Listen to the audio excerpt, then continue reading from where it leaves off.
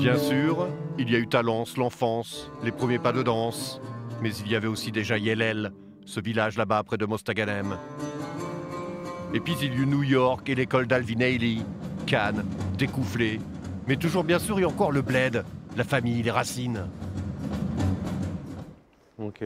Faut juste le répéter pour euh, Myriam, c'est bon pour toi? Hein, Image, image, image, pause. Image, image, image, pause. Depuis toujours, Hamid Benmaï est un nomade du hip-hop. Mais avant de fêter les 20 ans de sa compagnie hors série, c'est ce voyage incessant entre ces deux pays, la France et l'Algérie, qu'il voulait questionner. C'est vrai qu'avoir une double culture, c'est pas évident de trouver sa place. Et donc, ça nous demande de, creuser, de chercher. Des fois, on n'est pas forcément bien aidé, bien accompagné. C'est quelque chose qu'on fait euh, avec le temps. Et aujourd'hui, je me dis, ben, plus que je suis allé pendant 10-12 ans euh, en Algérie, j'ai fait énormément d'allers-retours, j'ai essayé de questionner, d'enseigner, euh, d'emmener mon métier qui était chorégraphe, danseur.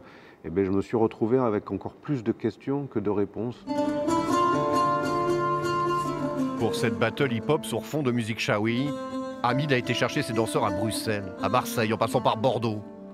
Il lui fallait le talent et l'esprit, l'ouverture aussi pour marier breakdance et tradition. Pas de pathos orientaliste, juste le bonheur de danser sur deux continents.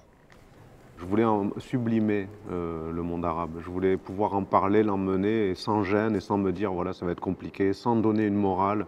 C'est juste un ressenti que moi j'ai et je voulais euh, euh, pouvoir le vivre et le danser avec une équipe, avec une tribu, avec une famille.